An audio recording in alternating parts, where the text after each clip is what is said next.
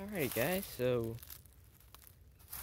I'm here at on the Norfolk Southern Danville District, I'm on post 272.8 and and I think there's a northbound coming, it's probably A and Y, the local. I can't tell. But the blocks that block center down there is green. Right here by the by the track is a RACO splice box that is really rusty that the paint paint's peeling off of it. This remember this remember this side but this side is you can open see the nest in there.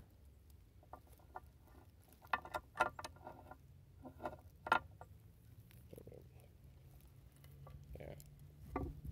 Yeah, see, see it is from RACO logo, logo for RACO.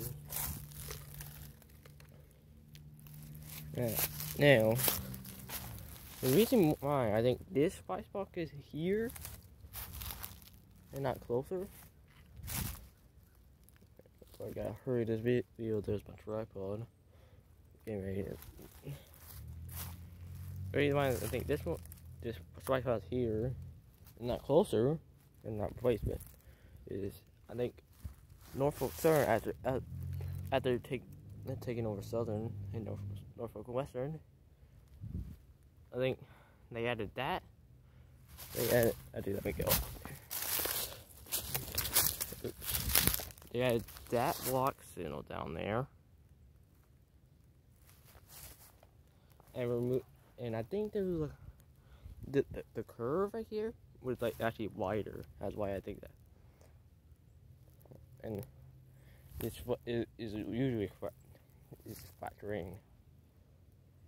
And also, and then when walking, walking with, with my dog, he says that over there was like a little yard. So that's that's why I think that splice box is there. Also, last time I was here, or like uh, near Danville District, is out down there. And we saw a train that was like stalled on on this hill because this is a hill. And my thing is stalled or he broke a knuckle. See down there, there's a piece of a knuckle. And last time I was, I was here, that was not there. I was like laying on the tracks right there, right beside the tracks.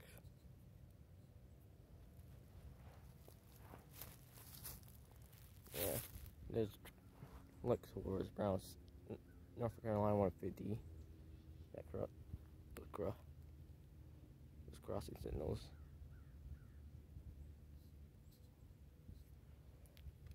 Yeah. I'm pretty, yeah. And it is a, I'm pretty sure there's probably, I think there's another, another one of those play spot parts down there. Close to the, the they know, I'm not sure. I haven't seen any other other spice the boxes last time I was here. I think, and we're rel rel relatively close close to my Marvel's Deuce too. Yeah. It is a piercing also. So yeah little hit, little Southern Railway history, and some, uh, and I broke a broken knuckle probably, probably from a train that stalled here in Brownstown, North Carolina. Thanks for watching. Over and out.